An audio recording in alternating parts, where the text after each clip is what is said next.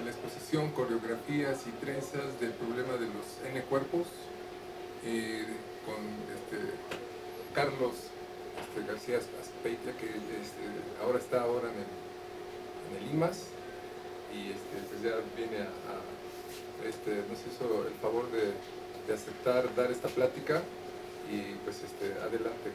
Gracias. Bueno, gracias por la invitación. Eh, dos cosas, este, Primero, eh, las, las, slides están en inglés, la plática la voy a dar en español. Eh, y segundo, en realidad la plática está dividida en dos partes. La primera parte es este, panorámica. Lo que voy a hacer es en la primera parte contarles una historia de lo que ha sido mi trabajo en el problema N cuerpos. Y la segunda parte es más técnica y es sobre uno de mis últimos resultados en el problema N cuerpos. ¿okay? Bueno. Entonces, este, bueno, el problema en el que voy a trabajar es en el problema de movimiento de n cuerpos en el espacio. Están las ecuaciones diferenciales de Newton que modelan esos n cuerpos y voy a suponer que las masas de los n cuerpos son iguales. Bueno, lo que pasa con el problema n cuerpos es que no tiene equilibrios. O sea, como solo hay fuerzas de atracción, si yo pongo n cuerpos en el espacio, eventualmente colisionan entre ellos a un punto. ¿Sí? No hay nada que les impida detener ese movimiento. Entonces, de alguna manera, las soluciones más sencillas al problema de n cuerpos, pues son algo que se llaman equilibrios relativos. Entonces, ¿qué son los equilibrios relativos? Los equilibrios relativos son equilibrios en sistemas de coordenadas rotantes. ¿Por qué? ¿Qué es lo que pasa? Si yo tengo n cuerpos rotando uniformemente alrededor de un punto, pues lo que pasa es que van a generar una fuerza ficticia que es la fuerza centrífuga, como si tuviera una pelotita y le diera vueltas. De tal manera que es posible que las fuerzas centrífugas cancelen a las atracciones y entonces obtenga un equilibrio en un sistema de coordenadas rotantes. ¿okay? Entonces lo primero que voy a plantear son las ecuaciones de Newton en, las coordenadas rotantes. Eh, eh, los cuerpos están en el espacio. Entonces, Voy a suponer que voy a parametrizar el espacio por el plano complejo, que va a ser la UJ y la QJ van a estar en el plano complejo, y una componente espacial que está en R, que es la Z. Entonces Z es la componente espacial y UJ y QJ son las componentes planares. Y lo que pasa es que QJ y ZJ son las componentes de los cuerpos desde J igual a 1 hasta N en el espacio. Y lo que quiero es ahora irme a un sistema de coordenadas rotantes. El sistema de coordenadas rotantes es UJ. Entonces aquí este UJ está rotando con frecuencia raíz de ese 1. ¿sí? Bueno, entonces cuando yo pongo las ecuaciones de Newton con masas iguales en el sistema de coordenadas rotantes, obtengo estas dos ecuaciones. Esta es la fuerza centrífuga, es simplemente un cambio de variables. Tomo las dos derivadas de esto con respecto al tiempo y sale este término, este término y este término. ¿ok?, entonces, eh, este término es la fuerza centrífuga ficticia que les digo, que les decía, y esta es la fuerza que se conoce como de Coriolis, porque lo que pasa es que es perpendicular a la velocidad de la posición del cuerpo, porque I es como multiplicar por eh, la componente perpendicular de la componente compleja. Y estos dos términos lo que representan son las fuerzas de atracción entre los distintos cuerpos. ¿ok?, entonces los UJ toman valores en los complejos. Los UJ toman valores en los complejos, sí. Digamos, estoy identificando el plano complejo con el plano real y luego R para la componente espacial. Son varias componentes, o sea, son varios sí, planos complejos. Sí, porque son, eh, son cada uno para, para cada cuerpo. ¿Ok? Bueno. Entonces, ¿por qué? ¿Qué es, qué es ese uno? Pues, bueno, eh, es, eh, la raíz de C1 es la frecuencia de rotación y está dada por este número, donde Z es el ángulo 2pi sobre n, donde n es el número de cuerpos. Y entonces yo voy a escoger esa frecuencia precisamente para que pase lo que les había dicho. Resulta que con esa frecuencia yo puedo poner los n cuerpos en el polígono regular de radio 1 y eso va a ser un equilibrio. ¿sí? Y eso correspondería, en, digamos, para 3, tengo 1, 2, 3, que están rotando uniformemente con frecuencia a raíz de ese 1. ¿sí? Y eso es una solución. En el sistema de coordenadas inerciales, Entonces estos cuerpos están rotando en el sistema de coordenadas rotantes, pues están fijos. ¿sí? Y eso para cualquier polígono. Entonces es un cálculo sencillo. Bueno, entonces yo les dije que les iba a contar una historia. Entonces este primer resultado fue con, en mi doctorado con mi asesor Jorge Ise. Eh, aparecieron en el 2011, el 2013. ¿sí? Y lo que dice es lo siguiente. En el sistema de coordenadas rotantes, el equilibrio poligonal tiene una familia que se conocen eh, familias de Lyapunov de soluciones periódicas, planares y espaciales con estas simetrías. Es decir, en el sistema de coordenadas rotantes, en este ejemplo para 5, primero los cuerpos están ahí fijos, sin moverse. Y resulta que hay una familia de soluciones periódicas, ser, de hecho es una familia global, pero cerca del, cerca del pentágono, lo que harían es ya no estar quietos, sino que van en órbitas periódicas, cada uno de ellos. Pero no solo van en órbitas periódicas cada uno de ellos, sino que las órbitas periódicas de cada uno de ellos están relacionados con la, de uno. Esto lo que me dice es que la órbita periódica del cuerpo J está relacionada con la del cuerpo N. Si esto es el cuerpo N, todas las demás están determinadas por las de uno de los cuerpos. ¿Y cómo están determinadas? Pues por una rotación, aquí claramente es una rotación, pero también por un cambio de fase temporal. Este es un cambio de fase temporal. Por eso, este no, este no es simplemente la rotación de este por por 2pi sobre 5 en este caso, z es 2pi sobre n, ¿ok? Sino que también hay un desfase en el tiempo. Y estos dos son distintos ejemplos para distintos Ks. Entonces, para distintos Ks desde 2 hasta n-2, hay estas familias de soluciones periódicas. En el caso planar satisfacen solo esta, porque U es la componente planar, y en el caso espacial además satisfacen esta simetría. ¿Estas soluciones son holomorfas eh, no, pero se podría decir, déjame decirte, pero es una pregunta interesante, se podría decir que el caso K igual a 1, ¿sí? Corresponde al caso donde en el sistema de coordenadas e inerciales eh, todas las soluciones son eh, elípticas, son, son, elipses, literal, ¿sí? O sea, en el caso K igual a 1, lo que tendrías es ya no se mueven en círculos en el sistema de coordenadas inerciales, sino que se mueven cada uno de ellos en los elipses, que son las soluciones al problema de Kepler. Este, una, pregunta, ¿esa acá es, eh, este, la estás considerando este, variando desde, o sea, para... K es, sí, para, diferentes grupos exacto, hay diferentes familias de órbitas, de órbitas periódicas. Entonces, eh, este, la, la, el, ángulo, o sea, que estás, que estás tomando ese, ese 1, este, es, o sea, ¿por qué es 1 y no nada más ese? O sea, ¿qué tiene que ver con... con ¿Este ángulo? No, el, el, S1 anterior, este, o sea, que, que o sea, ¿va a haber, ¿van a haber muchos S o algo así? O, es? que no veo ninguna S. Eh, este, a, a, este, a, la hora de... No hay ninguna este, S. Sí, S1, eh, que es el, el ángulo este, ¿por qué es 1? O sea, así nada más es una constante. No, no, S1 es una frecuencia de rotación que está fija, nomás depende del número de cuerpos. Pero pues nada más S, o sea, es que, este, o sea, yo que iba a haber como diferentes... Ah, este, es... Hay un tecnicismo que sí aparece en los ah, cálculos, sí, pero para el fines de la presentación está simplificado. ¿Sí? Ok, bueno. Entonces, este... ¿Cómo tuvimos este resultado? Este resultado lo que hace es linealiza las ecuaciones del problema de, n cuerpos alrededor del equilibrio y luego usa algo que se llama la teoría de grado equivariante. ¿Qué es la teoría de grado equivariante? No es otra cosa más que topología algebraica más teoría de representaciones de grupos. Aquí hay unas acciones de unos grupos que corresponden a las rotaciones del problema n cuerpos. Yo puedo rotar, eso me define una acción de un grupo, puedo permutarlos y puedo hacer un cambio en la fase. Entonces es un grupo de Lie compacto abeliano. ¿Ok?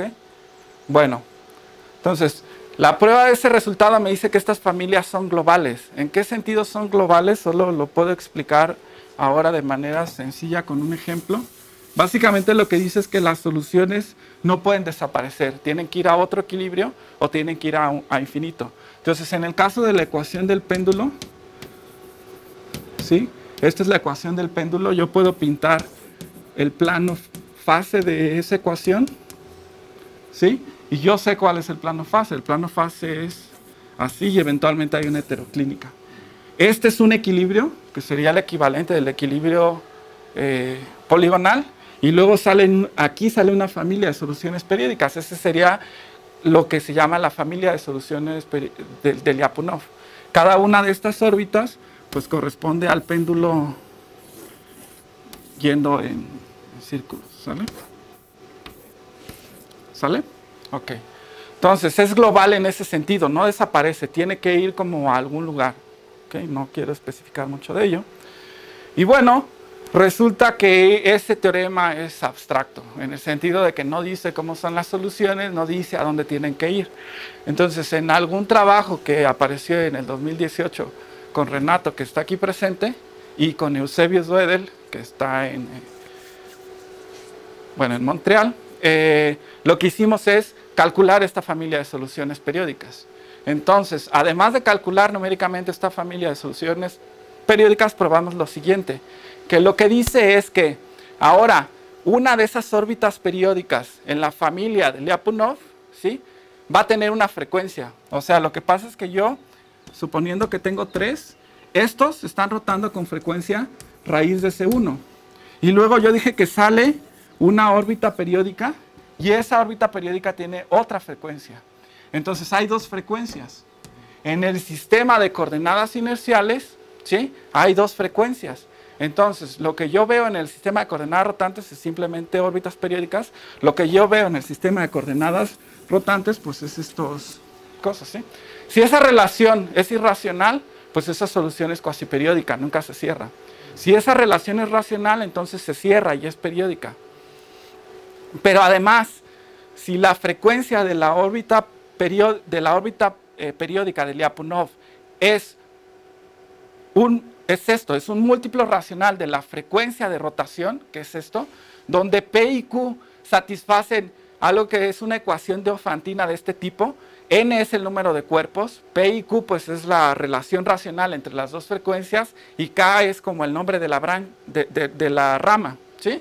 Entonces, en ese caso, lo que probamos es que la órbita, este sería el ejemplo de la órbita de Lyapunov en coordenadas eh, rotantes y resulta que en coordenadas inerciales eso es una coreografía. ¿Ok? Entonces, ¿qué es una coreografía? Una coreografía, eh, la, voy a poner un, un ejemplo y si a alguien no le queda claro que es una coreografía, ahora doy una definición. Entonces, esto es un ejemplo de lo que es una coreografía, tiene nombre, la gente lo llama el Super 8. Es una coreografía para cuatro cuerpos, ¿por qué? Porque los cuatro cuerpos siguen la misma curva. Entonces, una coreografía es una solución al problema n cuerpos con masas iguales, donde todos los cuerpos siguen la misma curva. ¿Sí? Ok, bueno, eh, entonces, este... Entonces, lo que estoy diciendo, este es un ejemplo para nueve cuerpos. En realidad, lo que están viendo aquí es una órbita periódica que sale del, del polígono para nueve, para nueve cuerpos, que es espacial y que después se continúa bastante lejos del polígono, no necesariamente cerca. En ese sentido era global, o sea, no las soluciones son solo en una vecindad y en el y de tal manera que cuando yo la veo, la miro en el sistema de coordenadas inerciales, pues eso se ve como esto, ¿sí? O sea, lo que pasa es que les puse el primer ejemplo porque aquí ya es más difícil ver que es solo una curva, pero es solo una curva, ¿sí? Entonces, eh, bueno, pues eso. Eh, bueno, lo que pasa es que ese es un este es un teorema, pero estos cálculos son cálculos numéricos. Entonces, yo no estoy diciendo que esto que están viendo es una verdaderamente coreografía, porque yo no sé que esta existe verdaderamente. Esto es un cálculo numérico. Solo para la gente que es este, rigurosa matemática. Entonces, nuestro siguiente trabajo con Ren... Pero si no fuera estable, eh, el sistema entonces quiere decir que tu aproximación no es suficientemente buena. Eh... Decir, que si tú perturbas un poquito, que no fuera robusto, digamos. Entonces tú perturbas un poquito, tú tienes estas órbitas, pero si, solo es una aproximación. Entonces a lo mejor no, corresponde a nada real. Eh, ¿Hablas de la estabilidad dinámica o de la estabilidad de la, solución, de la, de la existencia de la solución? o sea, porque, porque son dos preguntas diferentes. Este, la pregunta de la estabilidad es, por ejemplo, lo que pasa es que nosotros encontramos estas soluciones como ceros de un funcional. ¿Sí? Ese funcional efectivamente puede ser como así. Este es como un cero que no es transversal, que es degenerado. Entonces, numéricamente puede ser que sea así, o que sea así, o que sea así. ¿Sí? Claro. Pero esa es como la estabilidad de la... no, no, no, no dinámica. Porque la estabilidad dinámica es otra cosa. ¿sí? Es porque estamos encontrando estas soluciones como ceros de un funcional y ese funcional en esos ceros, pues sí, efectivamente podría ser degenerado. Entonces podríamos modelar eso. Podríamos modelar, pero, pero no, no es lo que, no, digamos que no es el caso aquí. No, o sea, estas cosas son como transversales, o sea, sería como así. Ah, ok, estables, digamos. Sí, estables, sí. sí. Pero inestables dinámicamente. ¿ok? Por, eso no sé si te refieres a dinámicamente o, o, bueno, bueno, pues entonces como esos cálculos son numéricos, entonces nuestro siguiente resultado ya es un teorema. Entonces es un resultado que tengo con Renato, eh, con eh, Jason Mireles y con Jean-Philippe Lesart. ¿Ok? Entonces, este, lo que dice es lo siguiente, ahora ya es una prueba, ¿sí? Entonces, lo que pasa es que, lo que, pasa es que yo les dije, déjenme poner un dibujo. Eh,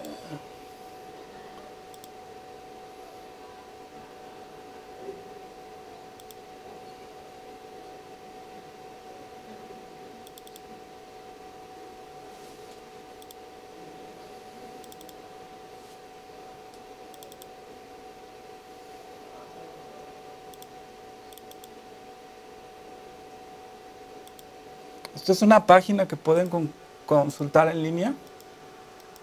¿Sí? Lo que pasa es que eh, aquí lo que pueden ver es cómo salen las familias de soluciones periódicas. Estos son cálculos numéricos. Lo que están viendo a cada tiempo es una de las órbitas de la familia eh, periódica. Esta es una familia vertical. ¿sí? Lo que pasa es que sale la familia vertical y luego en la línea verde hay algo que se llama una bifurcación hay un cambio cualitativo en, las simetrías de las soluciones. Hay lo que se llama un rompimiento de simetrías.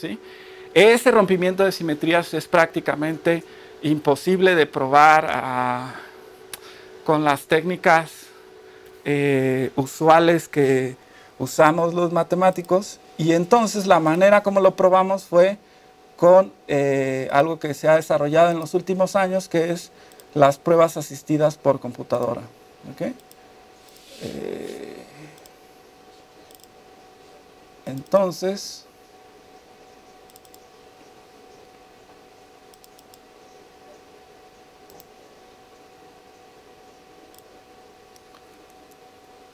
entonces este resultado lo que prueba es lo que valida es la existencia de unas órbitas periódicas después de este rompimiento de simetrías de la familia de órbitas periódicas verticales, ¿sí? Y ese tipo de soluciones resulta que son toros, eh, nudos sobre toros, ¿sí? Son lo que se llaman eh, PQ eh, nudos sobre toros, que lo que quiere decir es que si yo tengo un toro, entonces una curva da P vueltas así y Q vueltas así. Y entonces en particular lo que estamos haciendo es usar la, pruebas asistidas por computadora para probar ahora la existencia de esto que están viendo. ¿Cómo lo encontramos? Lo encontramos primero con una continuación numérica y después lo que se hace es como validarla a posteriori. ¿Cómo es la validación? Pues estas son órbitas periódicas, entonces se descompone la órbita periódica en sus series de Fourier. ¿sí?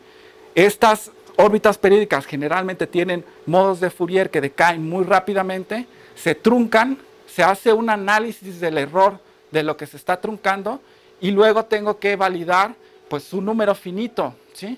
que puede ser muy complicado de hacer a mano, pero que ahora se puede hacer con la computadora. ¿Cómo se valida? Pues básicamente se usa algo que se llama aritmética intervalar. ¿Qué es la aritmética intervalar? Pues es básicamente darle a la computadora números como intervalos. de tal manera que la computadora todo, todo el tiempo está calculando desigualdades y al final me da un intervalo donde está lo que yo estoy calculando. Y de esa manera yo puedo probar que estas cosas existen como ceros de un operador. ¿sí? ¿Cuál es la dimensión del toro? En este caso la dimensión del toro es 2. Ah, este, o sea, así, eh, independiente de la, de la P y de la Q. Sí. En estas familias sí. O sea, aquí puedes ver un toro, ¿sí? Y esto es en un sistema de coordenadas eh, rotantes y en el sistema de coordenadas inerciales es esa coreografía. Ok, bueno. Entonces, este, aquí traigo una ilustración también de esa. Estas están en las páginas web de Renato si quieren eh, hipnotizarse con el movimiento de ella. Eh, bueno,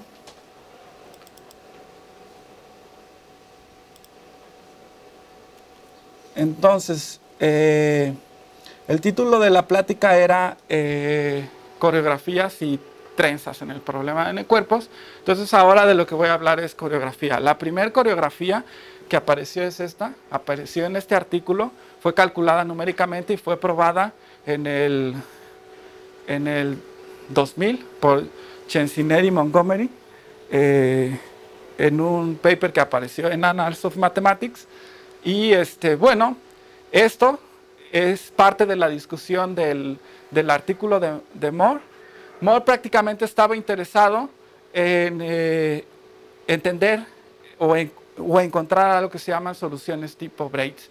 Entonces lo que yo digo es que yo voy a darle la definición de lo que es una trenza, en inglés braid, perdón, una trenza eh, por ejemplos. ¿ok? Entonces, ¿qué es una trenza? Entonces yo, supónganse que tengo esta, esto, todos conocen estas soluciones como la solución del de la luna y la tierra o del sol y la tierra, casi, no, de la luna y la tierra, es casi circular. Entonces son los dos cuerpos yendo alrededor de un punto en un círculo. Y lo que pasa es que yo ahora puedo pintar, esos están en el plano, ¿ok? Entonces yo ahora puedo pintar en la componente Z al tiempo. Entonces, ¿qué pasa? Estos están yendo en un círculo. ¿Qué pasa si yo pinto en la componente Z al tiempo? Pues lo que pasa es que esos empiezan a girar. Este cuerpo rojo hace esto, ¿sí? Y esto es una trenza en el sentido de lo que la gente estudia de nudos y trenzas, es que considero que no se pueden cruzar. Entonces, si no se pueden cruzar, eso me da una restricción topológica, como en los nudos. ¿sí? Nada más que no hay una sola cuerda, hay dos. ¿Ok? Entonces, esta sería la trenza asociada a esta solución periódica.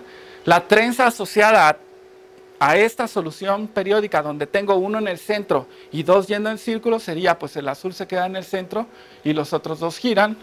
La solución asociada a esta la trenza asociada a esta solución periódica pues sería esta trenza de tres cuerpos y finalmente la de la coreografía del 8 sería esta. Hay una caracterización para este tipo de trenzas que está relacionado con los cruces que hay. ¿Ok? Entonces, este, el objetivo de, las, de, este trabajo de trenzas será el siguiente. Es lo que nosotros queremos hacer es construir a partir de lo que es un equilibrio relativo general. Ya les dije lo que es un equilibrio relativo general y les di un ejemplo que es el polígono, pero hay muchos más. Hay equilibrios relativos anidados, como estos, para seis cuerpos. ¿sí? Esto sería un equilibrio relativo. Aquí ya les di el poligonal. Y lo que queremos hacer ahora es, esto yo, nosotros sabemos que esta es una solución del problema n cuerpos que me va a dar una trenza. Y lo que queremos hacer es reemplazar uno de los cuerpos, uno de los cuerpos, por dos cuerpos cuyo centro de masa va a estar cerca del cuerpo al que está reemplazando y que están yendo en círculos, muy cerquita uno del otro, ¿sí? Y me van a decir, eso no aparece en la naturaleza. Pues sí aparece, porque de hecho eso es lo que pasa más o menos cuando yo tengo aquí el Sol, ¿sí? Aquí tengo a la Tierra y aquí tengo a la Luna. Entonces lo que está, de hecho el centro de masa está muy, no está en el centro de la, el centro de masa de la Tierra y de la Luna no está en el centro de la Tierra, porque la masa de la Tierra y la Luna son comparables. De hecho, está muy cerca de la superficie de la Tierra. ¿sí? Y entonces estos dos cuerpos están girando alrededor de ese centro de masa y ese centro de masa se está moviendo alrededor del Sol. Y este sería un ejemplo de donde reemplazo dos cuerpos en una solución circular de dos cuerpos, reemplazo uno de ellos por otros dos. ¿sí? De tal manera que obtendría la Tierra y la Luna. ¿Ok? Una preguntita, Carlos. Ahí en este modelo que dibujaste, estos vértices aquí corresponden, de los triángulos. A puntos. Sí, pero... O sea, eh, con, esto lo que digo es que tú podrías tener esta solución que es una configuración central para seis cuerpos. O sea, estos irían en un círculo superior y estos irían en un círculo inferior. ¿Y la trenza que asociada en ese caso? Bueno, pues imagínatela, porque... sí. Bueno, entonces este es el ejemplo de la Tierra, lo que les digo, esto sería como el ejemplo de la, de, la, del Sol y, la, y otro cuerpo que sería el centro de masa de la Tierra y la Luna, de tal manera que esta trenza la voy a reemplazar por una solución de la Tierra y la Luna y obtengo una trenza más complicada. A ese proceso Moore lo llamó eh, cableado, ¿sí? porque pues es como si fueran cables. Aquí está el esquema eh, en, las soluciones. Tengo dos, la verde y la negra, y voy a reemplazar la negra por dos, yendo en un círculo de manera que obtengo la Tierra, el Sol y la Luna. De hecho, hubo gente importante que trabajó, de, hecho el problema de la Luna ha sido un problema importante en toda la historia de la física y la matemática, y en particular en este tipo de soluciones ya las construyeron gente como Hopf y Hill, que trabajaban en el problema de la Luna. ¿Sí? Ok. Bueno, entonces ahora me quedan, me queda como 25 minutos, 20 minutos quizás, para la segunda parte de la plática. ¿sí? Lo, único que, con, lo único con lo que quiero resumir es que lo que vamos a hacer es construir este tipo de soluciones donde me voy a tomar cualquier equilibrio, me voy a tomar cualquier equilibrio relativo y voy a reemplazar uno de los cuerpos por dos cuerpos. Ese es el objetivo de la segunda parte de la charla. Y la segunda parte de la charla es técnica. ¿Ok? Ya no es panorámica. Entonces, bueno, entonces tengo las, las ecuaciones, estas son las ecuaciones de Newton. Bueno, resulta que las ecuaciones de Newton tienen una formulación variacional. O sea, yo puedo definir la acción al problema de n cuerpos, ¿sí? Sobre curvas y lo que van a hacer los cuerpos, las soluciones del problema n cuerpos van a ser las curvas que me minimizan esta acción.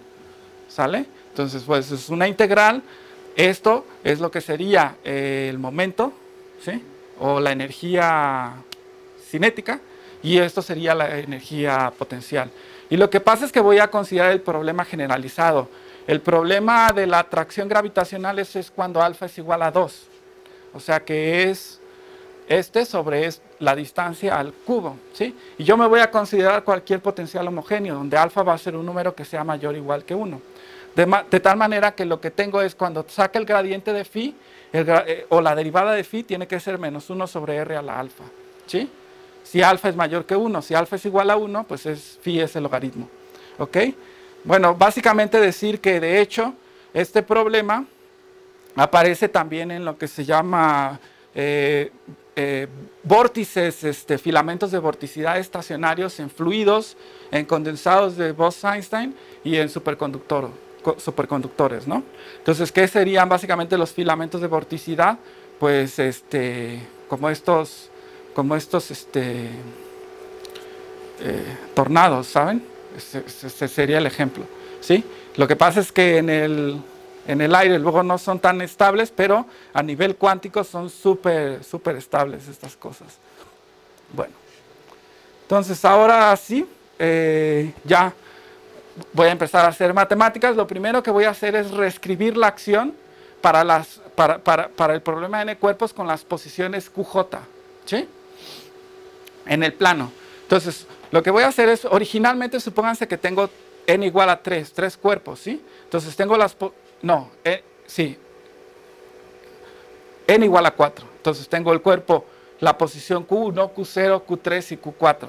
Y voy a reescribirlo un sistema de coordenadas. Entonces, en ese nuevo sistema de coordenadas, lo que va a hacer es Q2 va a ser igual a Q pequeña 2, Q grande 3 va a ser igual a Q3, pero ahora Q1, ¿sí? Va a ser, eh, Q1 va a ser el centro de masa, Q1 va a ser el centro de masa entre estas dos posiciones y lo que va a ser Q0 es la distancia entre estas posiciones.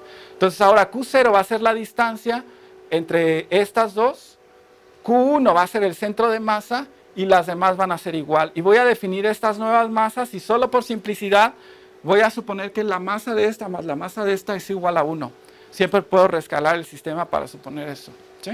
Entonces, este es el primer cambio de variables, que lo que hace es identificar el centro de masa y la distancia entre dos cuerpos. El segundo cambio de variables lo que va a hacer es poner todo el sistema a, a rotar con frecuencia 1. ¿sí? De tal manera que cuando pongo todo el sistema a rotar con frecuencia 1 voy a tener un equilibrio que conozco, que es el equilibrio relativo del que empecé. Y finalmente voy a hacer un tercer cambio de variable y ese tercer cambio de variable lo que hace es un escalamiento. Entonces lo que va a hacer es un escalamiento. ¿Cómo? Va a escalar esta distancia con epsilon porque lo que quiero es que esa distancia sea muy pequeña para yo poder construir esas soluciones y los voy a poner a rotar muy rápido. ¿Por qué rotar muy rápido? Porque quiero que roten como en la solución del problema de Kepler. Entonces, básicamente voy a escoger la frecuencia de rotación igual a epsilon a la menos alfa menos 1 y eso me va a dar que si yo pongo aquí 1, eso me da la solución al problema de Kepler. Bueno. Entonces, resulta que después de algunos cálculos, se reescribe a la acción, esta acción que yo tenía aquí, ¿sí? que sería para n más un cuerpos, ¿sí? donde esta es la energía cinética y esta es la energía potencial, entonces se escriben las nuevas coordenadas de esta manera. Recuerden, ¿qué es U?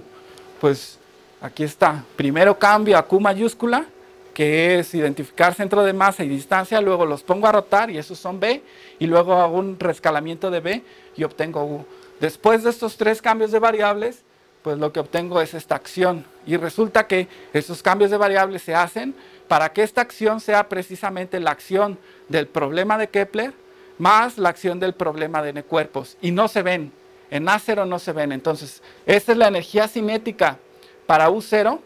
Esto sería la energía potencial para U0 del problema de Kepler, este término más este término, si yo le saco la variación a esa, a esa parte, lo que obtengo es el problema de Kepler. ¿sí? Y por otro lado tengo esta parte que es eh, la energía cinética para los n cuerpos y la energía potencial para los n cuerpos. ¿sí? Y no se ven entre ellos. Y claro, en el problema total se tienen, se tienen, que, tienen que interactuar, se tienen que ver. Entonces, lo que pasa es que la acción no es solo esta. La acción es esta más otra cosa. Pero resulta que la otra cosa va a ser pequeña, va a ser orden de epsilon. ¿Sale? O sea que entre epsilon es más pequeño, pues esa interacción es más pequeña. ¿Ok? Bueno, entonces ahora sí, lo que pasa es que yo conozco una solución explícita a, de puntos críticos de A0. Es decir, esas son soluciones a la variación de A0. ¿sí? Y resulta que esa solución explícita está dada simplemente por... Eh, creo que ya me estoy adelantando, pero bueno, ok, ¿por qué no? Me estoy adelantando, entonces, bueno, lo único que voy a decir es que esta acción, ¿sí? Ah, es técnico ya. Entonces es invariante bajo la acción de un 2 toro. ¿Qué es, ese, ¿Qué es ese 2 toro? Básicamente tengo dos ángulos y resulta que yo puedo aquí rotar, o sea, puedo multiplicar por e a la i teta, ¿sí? Y esta ecuación, esta acción no cambia, es invariante. O sea, si yo reemplazo u0 por esto, no cambia. Y si yo reemplazo la, la u, que es la 1 hasta un por e a la i teta por u, esto no cambia. Y eso lo que pasa es que el problema de Kepler, por un lado, es invariante bajo rotaciones y el problema de n cuerpos es invariante bajo rotaciones. O sea que si yo tengo una solución del problema de Kepler y la roto es una solución, si yo tengo el problema, una solución a las ecuaciones de n cuerpos, entonces si la roto también es una solución. ¿Ok? Entonces esto es invariante, pero resulta que H lo que representa es la interacción entre los dos problemas. Y claro, el problema de n más un cuerpos no puede ser invariante por la acción de este toro, de este dos toros. Lo que es es invariante solamente por la acción de un S2, SO2. ¿Qué es SO2? Pues es básicamente poner teta y teta, porque tienen que rotar los dos al mismo tiempo, ¿sí? Porque el problema de n más un cuerpos es invariante bajo eh, rotaciones. Okay. Ahora sí, yo le calculo el gradiente a A0 en un espacio de funciones 2pi periódicas y el gradiente de A0 en ese espacio de funciones 2pi periódicas lo que me da es la ecuación de Kepler para U0 y la ecuación de n cuerpos para los demás cuerpos. ¿Qué es R? Pues R es simplemente un tecnicismo que es el mapeo de Risk que me manda el dual del espacio en el mismo. ¿Sí? Bueno, pues resulta que entonces yo conozco soluciones a, o puntos críticos de A0. Las soluciones a esta ecuación pues no son otra cosa más que eh, cuando yo pongo U0 igual a E a la I teta. O sea, cualquier vector unitario es una solución. ¿Sí? Por eso escogí así epsilon y omega. Y resulta que las soluciones a esta ecuación pues a esta ecuación pues no son otra cosa más que los equilibrios relativos que les, que les mencioné. ¿Y qué es un equilibrio relativo? Pues son posiciones para los cuerpos determinadas por esta ecuación algebraica. A, esta, a las soluciones esta ecuación algebraica se les llaman configuraciones centrales. ¿sí? Esto es una ecuación algebraica para posiciones AJ en el espacio y cualquier solución ah, o cualquier configuración central me genera soluciones al problema n cuerpos, que es donde los cuerpos se mueven en círculos o en elipses o en hipérbolas. Ok, bueno, entonces ahora sí, la idea es la siguiente. Eh, dada una configuración central A, esto me genera lo que sería un dos toro de puntos críticos de A0. ¿Ok? Ya dije que son soluciones, es explícito. Y todo lo que o todo lo que vamos a hacer para encontrar este cableado es lo siguiente. ¿Qué pasa con esos dos toros de puntos críticos cuando incluyo el término H? ¿Ok? Y entonces si yo puedo construir soluciones de ser eh, soluciones a A, que es A0 más H, donde A0 tiene un, dos toros de puntos críticos y H es pequeño con epsilon, entonces la pregunta es si, si persisten eh, soluciones cerca de ese dos toros de puntos críticos. ¿Sí? Y la respuesta es sí. Y lo único que tenemos que asumir es que la configuración central es no degenerada. Entonces no me voy a meter en el tecnicismo de qué es no degenerado, pero básicamente estos son ejemplos de eh, configuraciones centrales que son no degeneradas. Hay muchas. Prácticamente una de las conjeturas de Smail es pues probar que existe un número finito de configuraciones centrales. Ok. Eh, eso implicaría que son típicamente no degeneradas. Eh, bueno, eh, ok, entonces este es el último, el último resultado que probé con Marine Fontaine, que lo que dice es lo siguiente. O sea, tomen cualquier número alfa mayor o igual que 1, que lo que representa es la, eh, el, potencial de atracción. Eh, alfa es el, el, bueno, alfa es el número de homogéneo del potencial de atracción. Y entonces tomen AJ que sea una configuración central no degenerada. ¿ok? Entonces, definan omega como esta frecuencia 1 más nu. ¿Qué es omega? Omega es este.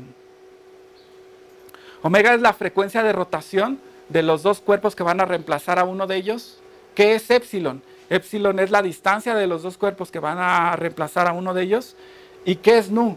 Nu aparece en un cambio de variables que lo que representa es este, cómo se van a mover los n cuerpos respecto a los otros dos. ¿Ok?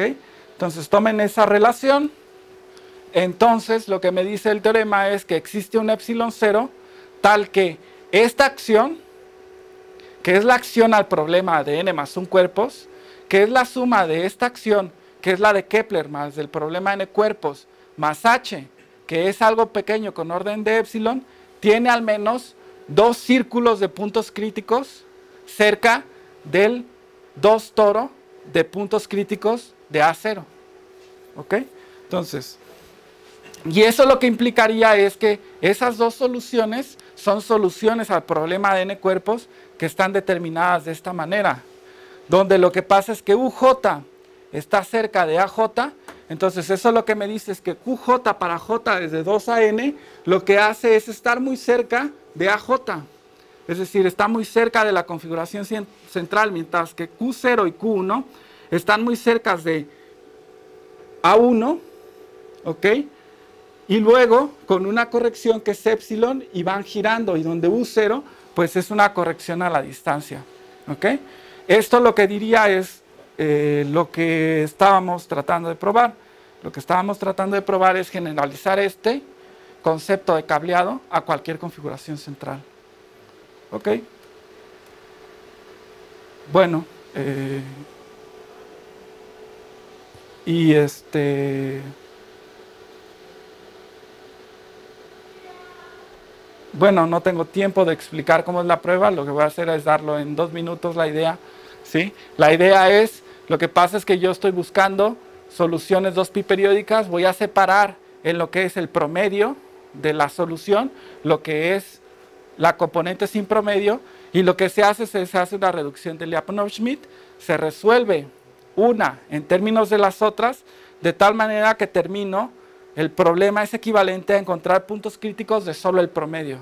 Y eso se llama una reducción de Lyapunov-Schmidt de dimensión infinita, porque A está definido en un espacio de funciones dos pi periódicas y puntos críticos de ese funcional van a ser puntos críticos de, un, de una función de Cn más 1 por R a R, que son las funciones como se ven en cálculo y después encuentran puntos críticos de esa función con algo que se llama la categoría de Lustenris-Niedelmann. ¿sí? Y lo que pasa, ya el problema reducido, de hecho la parte crítica es reducirlo a dimensión, eh, a dimensión finita, pero resulta, resulta que lo que pasa es que reduzco el problema a encontrar puntos críticos de una función Rm en un M gigante a R. ¿sí? Y tengo, literal, o sea, esto en R, esto es RM, esto está en RM. En RM tengo un 2 toro. Y lo que tengo son puntos críticos de ese 2 toro. Y la pregunta es, ¿qué pasa cuando perturbo con epsilon a los puntos críticos de ese 2 toro? Y resulta que tienen que persistir al menos dos círculos. ¿Por qué? Pues, bueno, pues es la categoría del Lusteris-Niedelmann. Eh, no me queda tiempo y lo único que quiero decir es que pues está este ejemplo donde ustedes pueden imaginar que tengo un funcional phi de R2 a R, ¿sí? Supónganse que phi es igual a phi 0 más h, solo para, para dar una idea, y supónganse que phi 0 es de esta forma.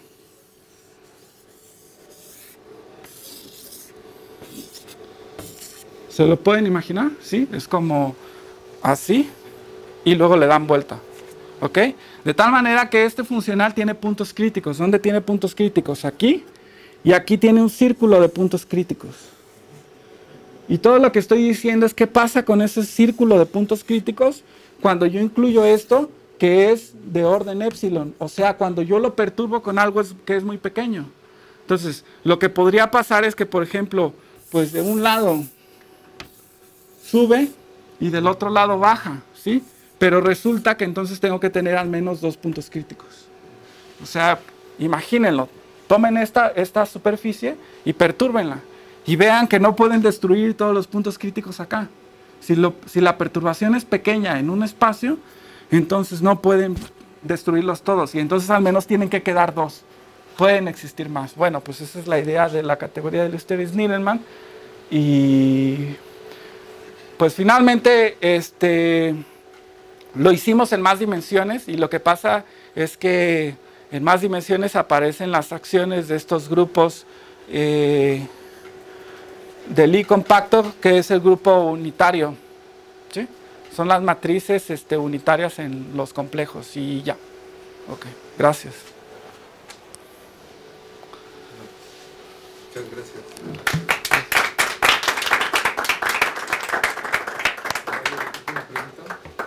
yo tengo una pregunta. E, esto de las, de las coreografías, eh, en realidad, este, o sea, se, puede trabajar así en abstracto para, o sea, simplemente con la definición esta de que centrales no degeneradas, algo así, o, hay algunas coreografías este, muy particulares que, sean atractivas para, manejar? Sí, bueno, es una buena pregunta. Eh, creo que lo, o sea, lo que pasa es que hay dos maneras de construir eh, coreografías.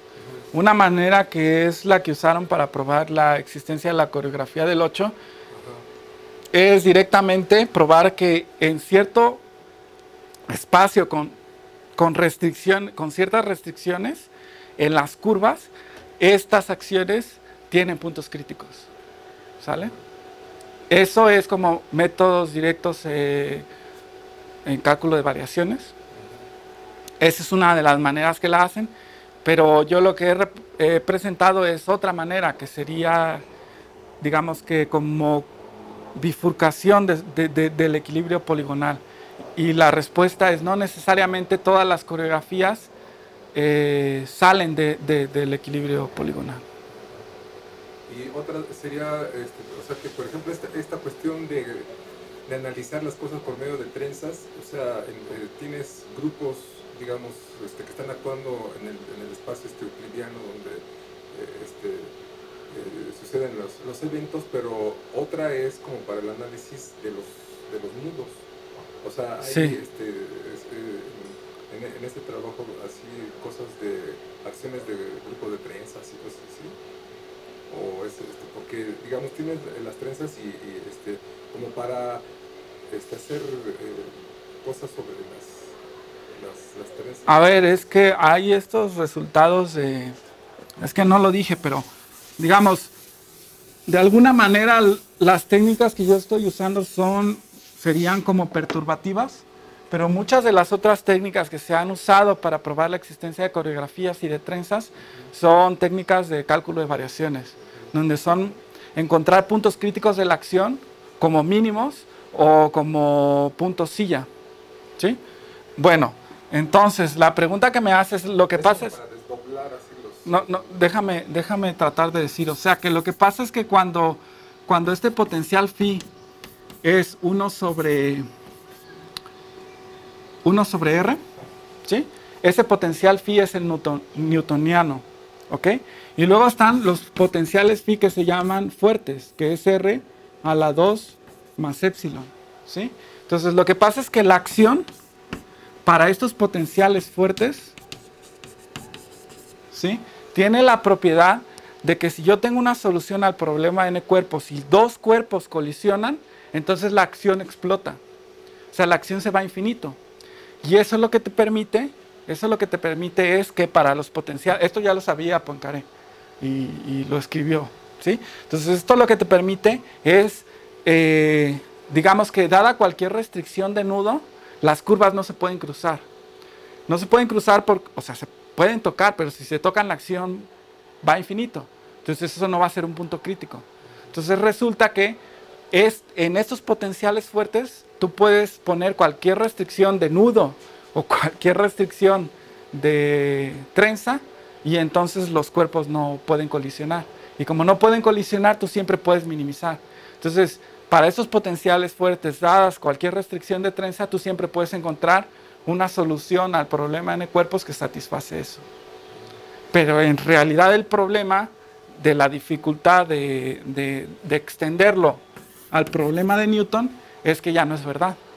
Tú puedes tener soluciones donde los cuerpos se tocan, o sea, colisiones, y la acción ser finita. ¿Sí? ¿Alguna otra pregunta? Nada más rápido sobre el teorema este que tienes con Marín. Este, todo lo haces en el plano. Todo lo hago en el plano. Y, o sea, y se ve... O sea, lo hacemos en, el, lo hacemos en dimensión... Eh, sea, lo hacemos en...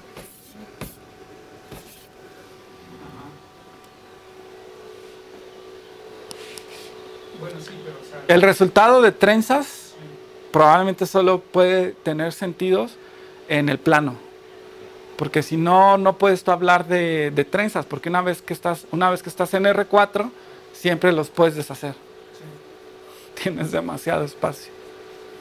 Pero el resultado del, del, cableado, de esto de reemplazar una configuración central en dimensión n se, se hace. Sí. O sea,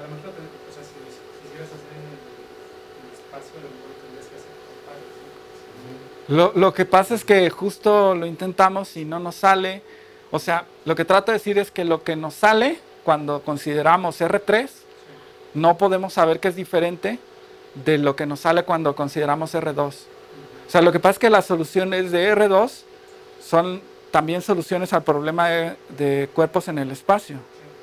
Y entonces resulta que la, la, categoría no es diferente en, R, en el plano que en el espacio. Entonces no podemos decir que las que estamos encontrando son verdaderamente espaciales, pero eso es un problema bien interesante. Ver si tú puedes tener una solución donde originalmente n cuerpos están en el plano y luego uno de ellos está en una solución que no está en el plano. Pero yo no tengo esa, no tenemos esa respuesta. ¿Sí? Una preguntita un poquito más técnica, ¿no? Eh, no sé si va muy bien, ¿no? Pero, a ver, cuando tú estás diciendo tienes dos modelos, uno es el de N cuerpos y el otro es el de Kepler, ¿no? sí.